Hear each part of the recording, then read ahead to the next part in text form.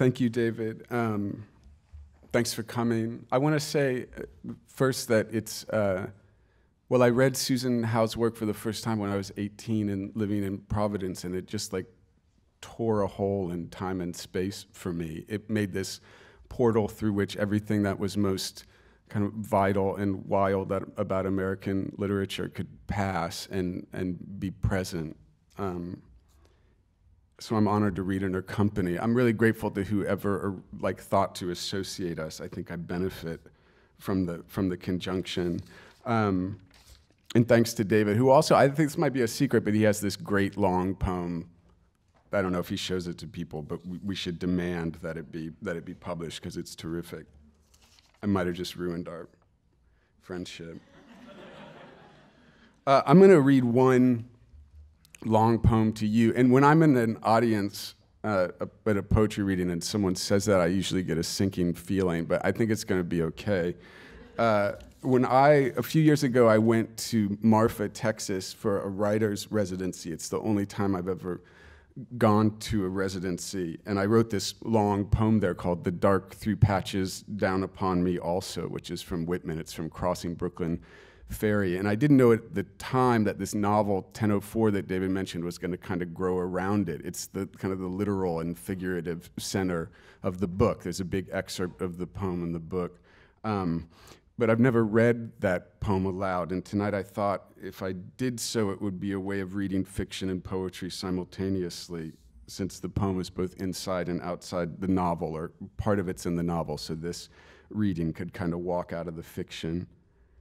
Um, I mean, I, maybe I should say so. I, I mean, I, I was in Marfa. I was reading the Library of America edition of Whitman. I was really obsessed with Specimen Days, this bizarre book of his. I don't know if you know it. And one of the things that I was really captivated by was the weird way in Whitman's uh, writing that he both claims to be doing the most important work imaginable, right? He's like writing the secular Bible of the United States. He's going to kind of make union actual. And then on the other hand, he's always just like loafing, his favorite word. And he's, he's like taking his ease under a flowering tree. And I, I thought that there's something about the relationship between labor and leisure in his work that was kind of like the contradictory logic of the residency itself, right? Where like you get this call, and it's like we're going to give you a, a space away from your life in order to do the thing that supposedly is your life. You know like that there's a there's a weird way that you have to be taken out of the world in order to make your work. Is it labor? Is it leisure?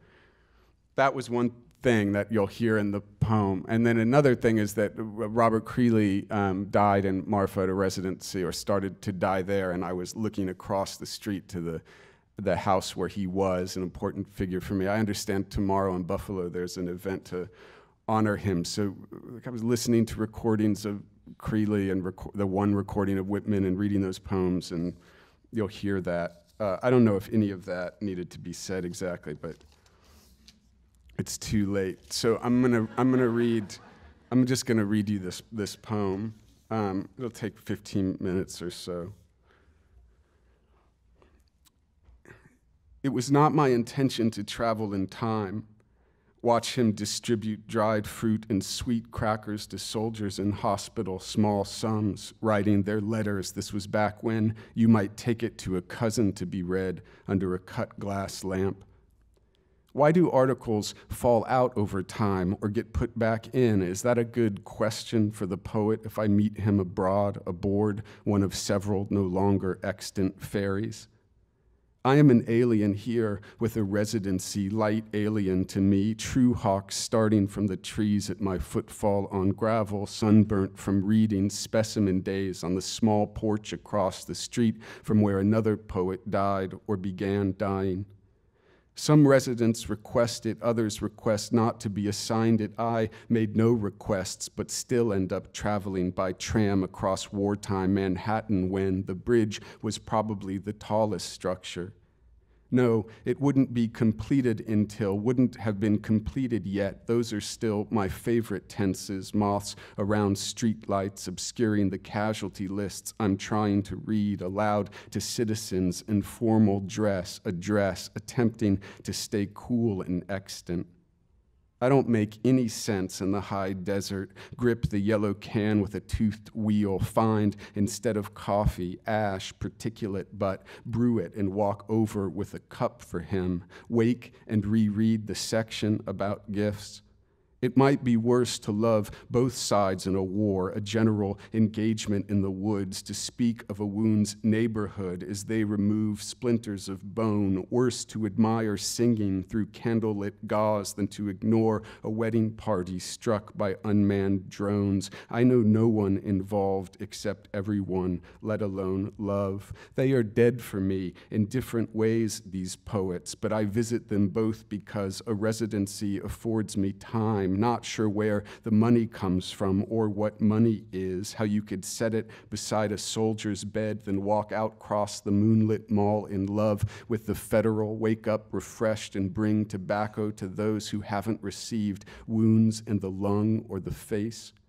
Tonight, I listened to their recordings at once in separate windows. Four lines from America might be recited by an actor, but the noise of the wax cylinder is real, sounds how I imagine engines of old boats would, while the door incorporates distress into the voice, could be in the room. The former says he waits for me ahead, but I doubt I'll arrive in time. Even the phrase evening papers will need a gloss, like the notion presidents have features. Instead, I project myself back before carbon arc and mercury vapor, invisible labor of men in the dimly lit caissons, still a few years in the future when the danger will be coming up too fast, nitrogen bubbles forming in the blood. I wanted to say I also passed through a series of airlocks en route to imperceptible work, even that a tower of a sort might be built upon it, but I'm more a supervisor, ill from surfacing quickly, watching its progress through a telescope, sending messages to the bridge site through my good wife, Emily. When completed, the celebration will surpass the one that marked the closing of the war, as if you could separate those things, as if those were things, cheap oak and iron deployed as inflation rages, my father studied briefly with Hegel, and there are other proper names we could summon. Both Cranes, the one who lived in this apartment, drowned himself at my age, and the older one who died younger, having both seen and not seen war. But that's just the game of features again, when in fact the unwounded face is smooth. A thin crescent hangs over a Brooklyn where the rich still farm, and I wait for your return from a war you love all sides of. Come back to the future, where I'm resident, and the phrase evokes one of the crucial movies of my youth, set in 1955, the year nuclear power first lit up a town. Arco, Idaho, also home to the first meltdown, 1961, although years are part of the game. In the movie, they lack plutonium to power the time traveling car, whereas in real life, it seeps into the Fukushima soil. Back to the Future was ahead of its time. 1985, when I was six, and the Royals took the series, in part because a ridiculous call forced Game 7 Orta clearly out at first in replays. I can feel it getting away from me. So I leave the house, use the back door to avoid the other residents, and watch the sun set through smoke from Arizona fires, 0% contained. Wave to a woman bent over a row of yellow flowers, but she can't see me. I've faded from the photograph. We often say twilight but mean dusk, or check our watches without noting the time, two of the minor practices that make us enough of a people to believe that a raid on the compound can bring closure. Depends what you think is ending. The gentle face of terror, civilian nuclear power are those two things. There are men at work on the roof when I return, too hot to do by day, wave and am seen, an awkward exchange in Spanish. Who knows what I said, having confused the conditional with imperfect. Norteño from their radio fills the house I hope they know isn't mine. I just write here, walk back out with a Brita and three glasses, but of course they have their own water. Can I offer you a cup of ashes? Can I interest you? Soon they move on to the house I call his because Douglas, who manages the compound, rushed him from there to hospital in Midland or Odessa, the roofer's purpose obscure to me, whose work is to chat with the dying or dead, to let them lay a pale hand on my knee if they still have hands, the practical nurses busy behind curtains, some of them singing popular hymns, often accompanied on melodeon and accordion or small organ, strange to have either available among the cots and mosquito netting. It seems to be pleasurable for him when the moon makes radiant patches for a death stricken boy to moan in, or a patch of the wood ignites, consuming soldiers too crippled to flee. Patch, from the Latin pedeum, literally something measured, compare to the medieval pedare, to measure in feet. That might be false. The point is, he feels no need to contain his love for the material richness of their dying, federal body from which extremities secede. A pail beside the bed for that purpose almost never mentions race, save to note there are plenty of black soldiers. Clean black women would make wonderful nurses, while again and again I deliver money to boys with perforated organs. Unionism to die with shining hair beside fractional currency, part of writing the greatest poem, or is the utopian moment loving the smell of shit and blood, brandy as it trickles through the wound, politics of pure sensation? When you die in the patent office, there's a pun on expiration. You must enter one of the immense glass cases filled with scale models of machines, utensils, curios. Look, your president will be shot in a theater actors will be presidents. The small sums will grow monstrous as they circulate. Measure. I have come from the future to warn you. Tomorrow, I'll see the Donald Judd permanent installations in old hangars, but now it's tomorrow and I didn't go. Set out hatless in the early afternoon, got lost, and was soon seeing floaters and spots. So returned to the house, the interior sea green until my eyes adjusted. I lay down for a while and dreamt I saw it. Tonight I'll shave, have two drinks with a friend of a friend, but that was last week and I canceled. Claimed altitude had sickened me a little. Can we get back in touch when I've adjusted? Yesterday, I saw the Donald Judd in a book they keep in the house. Decided not to go until I finished a poem I've since abandoned, but will eventually pick back up. What I need is a residency within the residency. Then I could return refreshed to this one, take in Judd with friends of friends, watch the little spots of blood bloom on the neck so I'll know I've shaved in time, whereas now I'm as close to a beard as I've been, but not very close. Shaving is a way to start the workday by ritually not cutting your throat when you've the chance. Washes and razors for foo-foos, for me, freckles and a bristling beard. A big part of reading him is embarrassment. Woke up today having been shaved in a dream by a nurse who looked like Falconetti, my cot among the giant aluminum boxes I still plan to see, then actually shaved and felt that was work enough for one day, my back to the future. The foundation is closed, Sundays and nights of which the residency is exclusively composed, so plan your visit well in advance or just circle the building where the Chamberlain sculptures are housed, painted in chromium plated steel, best viewed through your reflection in the window. In Bastien Lepage's Joan of Arc, she reaches her left arm out, maybe for support in the swoon of being called, but instead of grasping branches or leaves, her hand in what is for me the crucial passage partially dissolves. It's carefully positioned on the diagonal sight line of one of three hovering translucent angels. He was attacked for failing to reconcile with the future saint's realism, a failure the hand presents as a breakdown of space, background beginning to swallow her fingers, reminding me of the photograph people fade from, the one Marty uses to measure the time remaining for the future in which we watched the movie. Only here it's the future's presence, not absence, that's away at her hand. You can't rise from the loom so quickly that you overturn the stool and rush toward the plane of the picture without startling the painter. Here, voices the medium is powerless to depict without that registering somewhere on the body.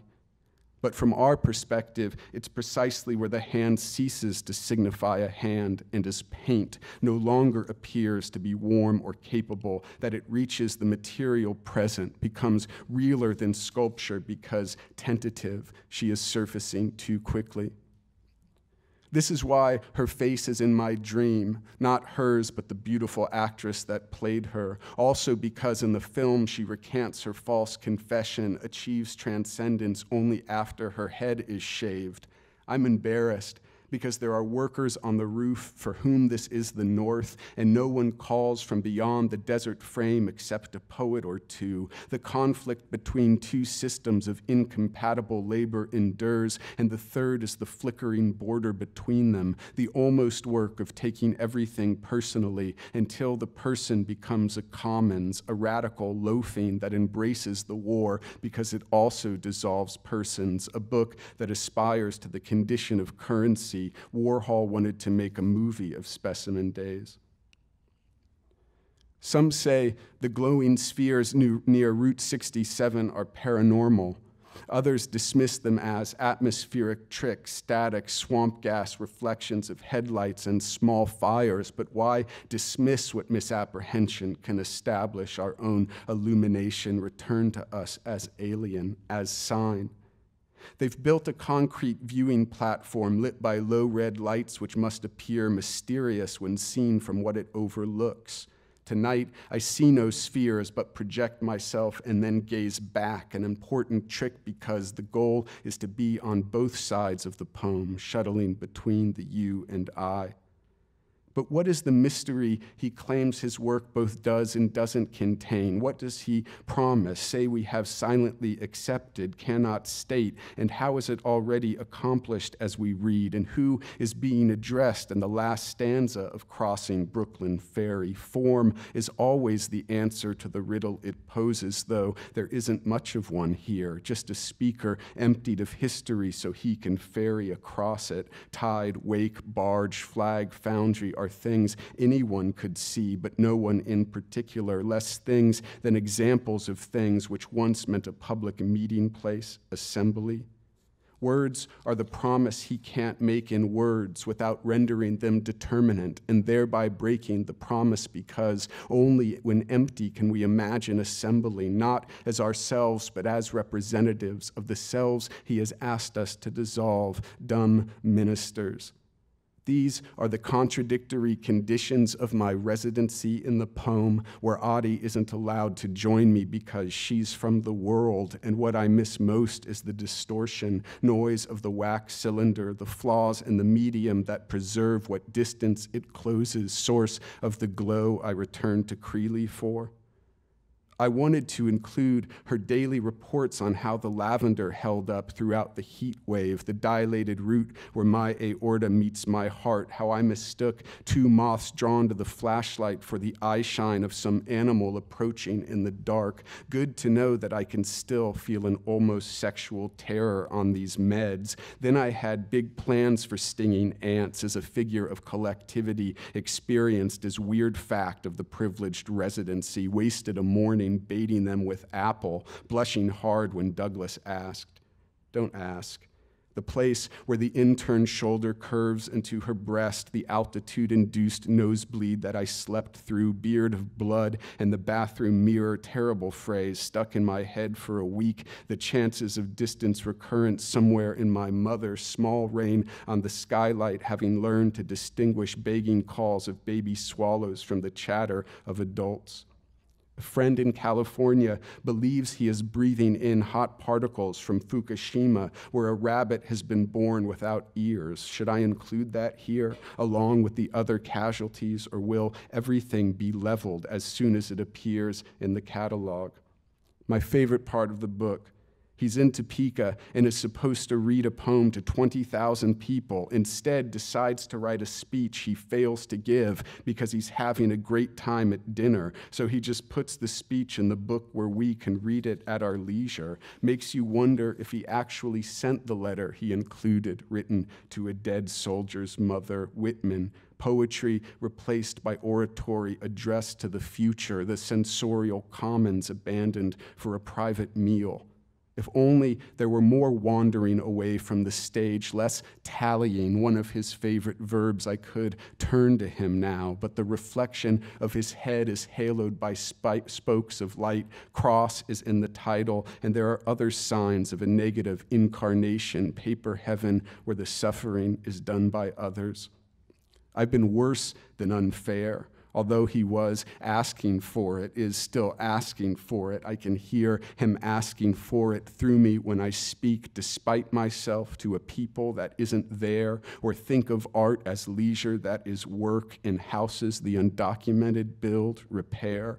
It's among the greatest poems and fails because it wants to become real and can only become prose, founding mistake of the book from which we've been expelled. And yet, look out from the platform, see mysterious red lights move across the bridge in a Brooklyn I may or may not return to, phenomena no science can explain, wheeled vehicles rushing through the dark with their windows down, streaming music. Thank you. That's a hard introduction to follow. anyway, uh, um, I'm just thrilled to be uh, reading with Ben, and because uh, particularly what he just read, I love that part of the book that takes place in Marfa, and I love his use of Whitman, and of course.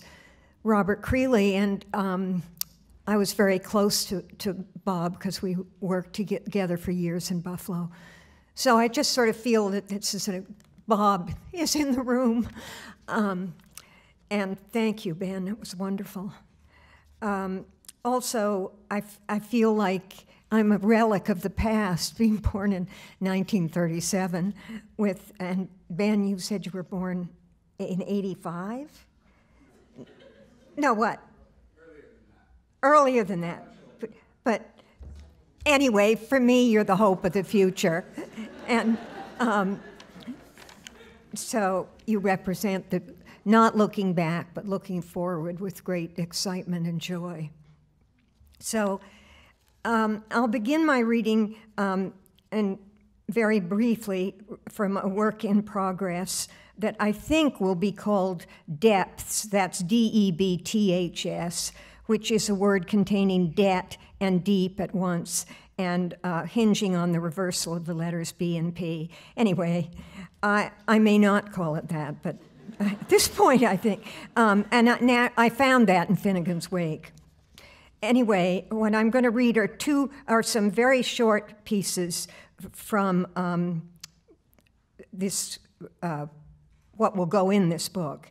And um, this, I'm reading from Tom Tit Tot 1 and Tom Tit Tot 2.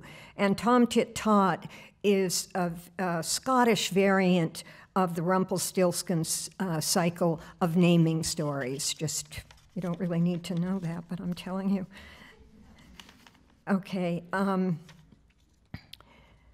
crowded little monuments of paint inch a space of scrutiny at. Scattered marks and loop off words from images thorn from their original source. History scattered to the foe of a page. It was you, play in combats of the playground. There are those of us who, oh, the grows leaf sown a document. The parasitic involve a structure of layer, age placed on top of another, mm, its other, as if to infinite, portable ocean. Our mother of puddled images, fading away into deep blue polymer, seaweed, nets, shells, fish, feathers. Tom Tit Tot too. Name, name, pudding and tame percipient agent. Hidden will o' the wisp, nicked, naught, nothing. So long as one fact stands isolated and strange, one fact supported by no fact, wood slipper counter clatter. I can spin straw by myself. Once, when the real world was our world, in its nature to mind, our wood world. Threshold word, little hinge hope of bewilderment, its parchment, memory, sign. Each word may be six, six razzle rungs. It may be two places at once in the old secret escapades, a vault benediction for one lucky one under thimble thumb. You sit in our tent of belief and ask what to do with it. Faithful first, then frivolous half scientific, but good at guessing by sensation. You look at a flame. Is it orange within you or without you?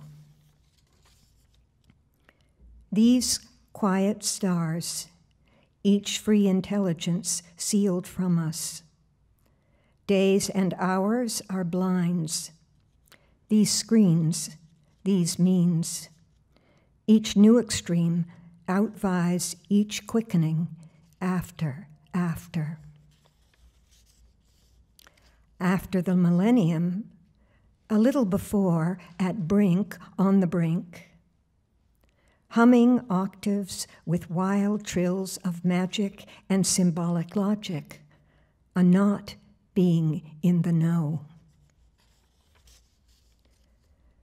When stars are not so faint, and new astronomers assign numbers, one may count one other, and each secretly jot down in units and tenths for photometrics other instant, infinitesimal arc predicates, a nearest, faint, ghost, alias.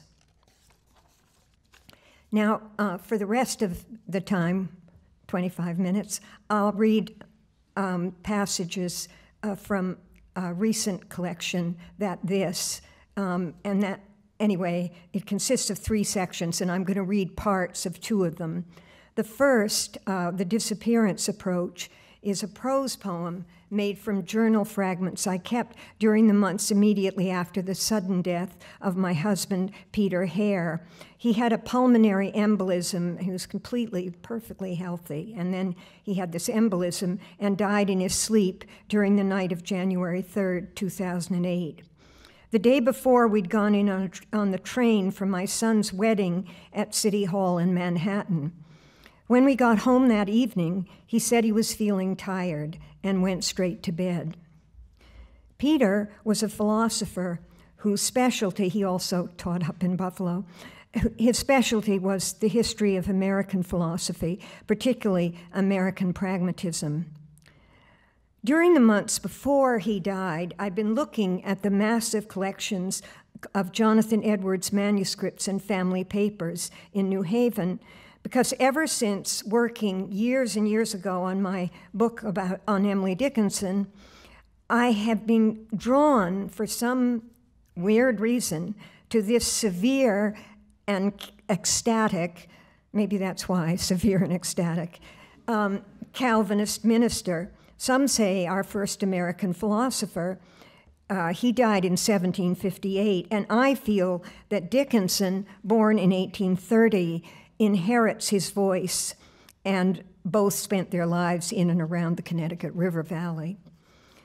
William James says that in times of trauma and crisis, a door is open to a place where facts and apparitions mix. The March after Peter's death, I returned to the library to look at Edwards' manuscripts again, and this time I chanced on a folder containing the private writings of his sister Hannah. And I just had this instant telepathic connection. Um, so using materials um, transcribed from her, I transcribed on my computer from her journals, along with other sources from Ovid, Hawthorne, and importantly, T.J. Clark's book on the paintings of Poussin called The Sight of Death. Um, the wonderful Poussin show was at the Met at that point. Uh, I composed the, uh, the poem or word collage called Frolic Architecture. And I'm going to read first from the disappearance approach and then part, you know, I can only read segments to fit this in, so I'm jumping around, and then moving straight into frolic architecture without, so I'm explaining it now. The disappearance approach. I've been reading some of W.H. Auden's The Sea and the Mirror. One beautiful sentence about the way we all reach and reach, but never touch. A skinny covering overspreads our bones, and our arms are thin wings. In an early morning, half waking dream, you were lying on the bed beside me in a dark suit. I recently touched your black jacket, the one you loved we brought together on sale two years ago in Barney's. We were thinking about getting another this month because you had worn the original to pieces. It's in the closet now, an object for storage beside your ashes. Maybe the jacket was in my mind as distant dream knowledge of the way one figure can substitute for another with a cord attached, so what is false gives life to what is fair. I thought you were really you until I woke up back in myself.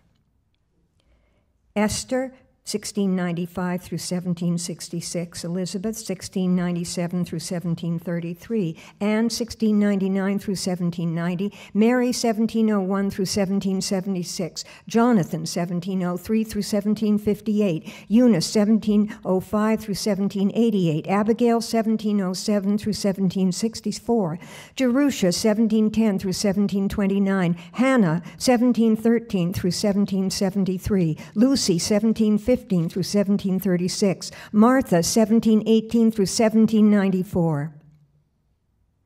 If your names are only written and no originals exist, do you have a real existence for us? What happens to names when time stops? Answer Nothing happens. There is no when.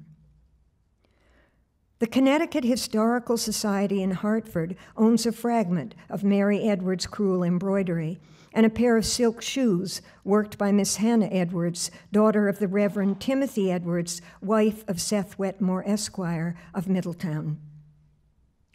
Only tossing color coins into a well of language, while faces of magic, contained in little stories outside the purview of philosophy, scramble to help each other quid pro quo. Even if ideas don't exist without the mind, there may be copies or resemblances. I never clearly understood what academic meant in relation to philosophy's defining essence, but Peter always used the term when speaking of the structure of his intellectual life. Perhaps he was suddenly indifferent to this self willed world of cultural symbols, intellectual historical records, competing research topics, future career trajectories, making a splash with books. C.O. Milford, PA, 1904. The way bleak north presents itself here as Heraclitan error, driving and driving thought and austerity, nearer to lyricism, often as black ice. I wrote this poem on a winter day in 1998 when my mother was still alive and I hadn't met Peter. I had been reading Xerox copies of the last journal pages from the microform edition of the manuscripts of Charles Sanders Peirce. If you take immediate environment into account, during the winter of 1904, things were threadbare for the putative father of pragmatism. No peace in projects, no firewood for warmth.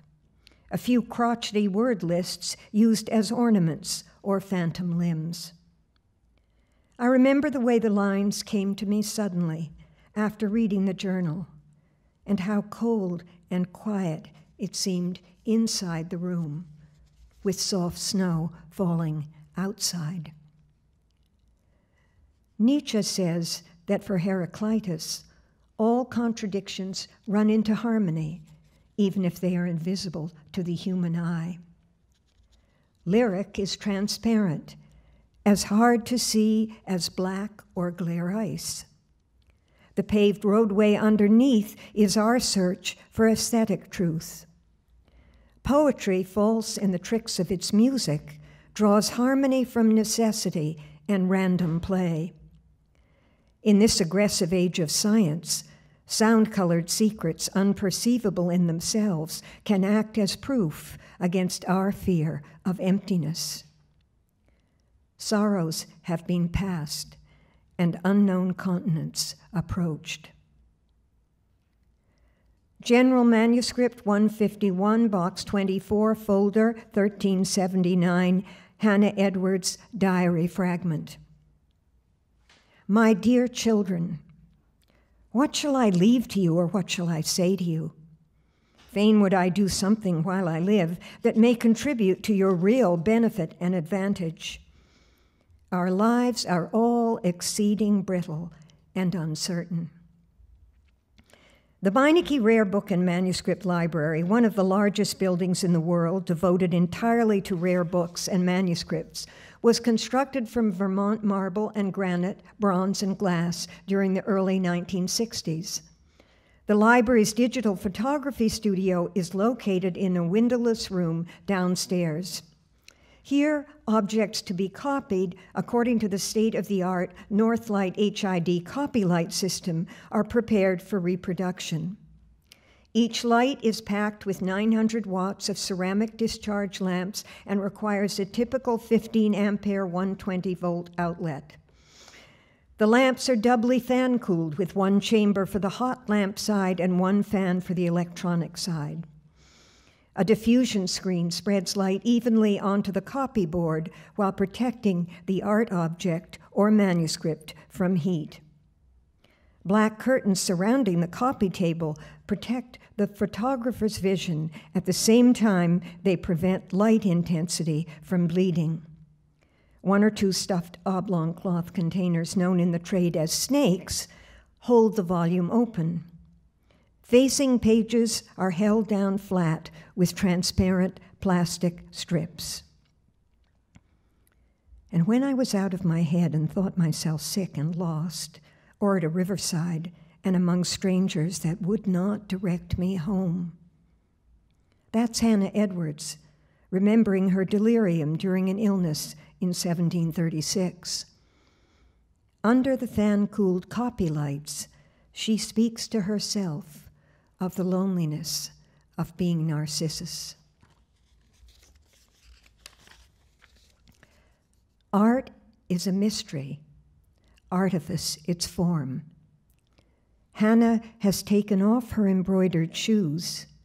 She is dipping her bare feet in varieties of light. In Ovid's Metamorphoses, the fruit of the mulberry tree is forever turned black by the red blood of Pyramus. This is how Poussin introduces the narrative of love turning to misfortune into, into a composition he originally made, meant to present as merely a landscape with a storm. All the figures one sees there are playing their roles according to the weather. Some are fleeing through the dust in the direction of the wind that is driving them, along. Others, on the contrary, are going against the wind, walking with difficulty, covering their eyes with their hands. In the foreground of the painting, one sees Pyramus lying dead on the ground, and near him Thisbe, who has succumbed to grief. Clark says that in Landscape with Pyramus and Thisbe, everything ominous in snake, landscape with a snake, um, size, scale of the figures in relation to the whole, use of light, intensity of dumb show, framing and shaping, runs over the edge into chaos. By 1650, Poussin's hands were shaking so badly he was painting through the tremors. In spite of his affliction, the surface of the lake at the center of his canvas is smooth as glass. This still eye reflects a neutral you that is me, and yet secret, Who can hold such mirroring cheap? It's a vital aspect of marriage and deep friendship. More and more, I have the sense of being present at a point of absence where crossing centuries may prove to be like crossing languages, sound waves. It's the difference between one stillness and another stillness. Even the invisible scotch tape I recently used when composing frolic architecture leaves traces on paper when I run each original sheet through the Canon copier. I can't remember if there was snow on the ground, but I do remember the cold. If winter landscape meets the being of the subject of the soul now and before and conveys what is yours to join the finished pastoral invention of others. That is rationalism's secret. Midas begged Bacchus to relieve him of his dangerous talent. He has gone down to the source of the Pactolus River and kneels in profile, finely cleansed of gold. He is tired, tired.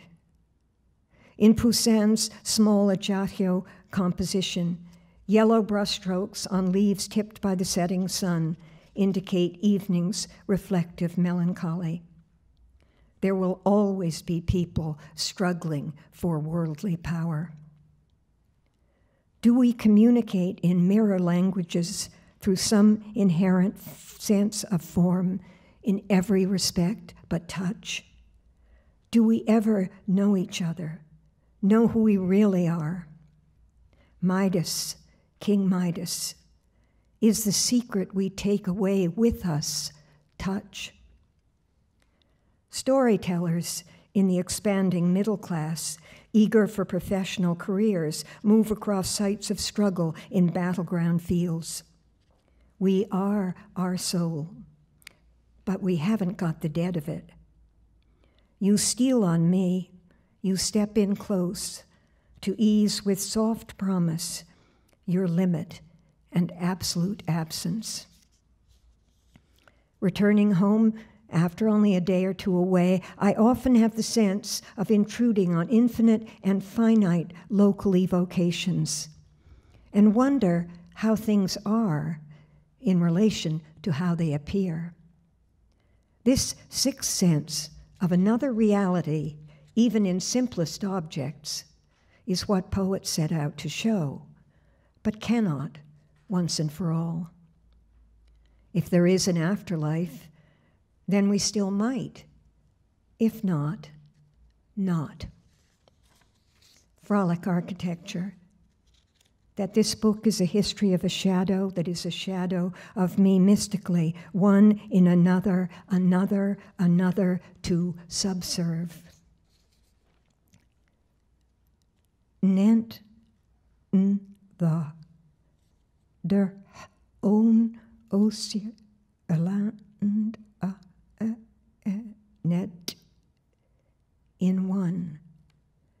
No sun, nor did the waxen, yet did the certain, the circumamb, uh, her arms alone, oh, though there could tread, the air was dark, all objects wild things strove. Embody my body slipping, embody my body slipping d- down full toward its own secret sermon, sermon, sermon, secret sermon, rough of gra- sermon and sermon sent to. Oh, that I then be at rest, more sure, these was shadow long shall ever finding no, for they but find a bewildered, weary of my. That is first. Then was ever, for they ever had.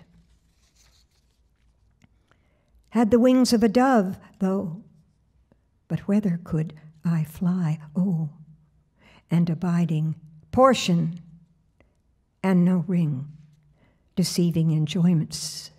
Where shall I find real? I wander from mountain Oh, that I could rest for the soul of my, and weary myself to. Walking just below my father's orchard after, walking just below my father's orchard after religion and the concerns of my soul, my business, religion, and the concerns of my soul, my business, prayed for and labored after an awakening sense of. Ter I had taked the after I had taken up many res concerns of my business, and after I had set to it and print mm, uh, sense of my miserable, my miserable, with with a great deal of concern, sensible, I thought, and negligent, notwithstanding so old, in running over the south fence, and notwithstanding to be sensible, then what made me cast about in my mind whether I was unable to do one chain of thought? I saw manner, that an image of it on my mind, as what should. But I attempted to read, but out one chanced intercepting and covering the. I had as lively affable and did not seem to be, had seen it abruptly and so strong that it, I attempted to, to look upon it as supernat by a piece of Cicero of imagination, and that distemper, I was seized with it. Ink, dar, white dress, golden family thought, live to be on street, nt for er. Opening the house door, she stood, hesitating whether she ought, whether she.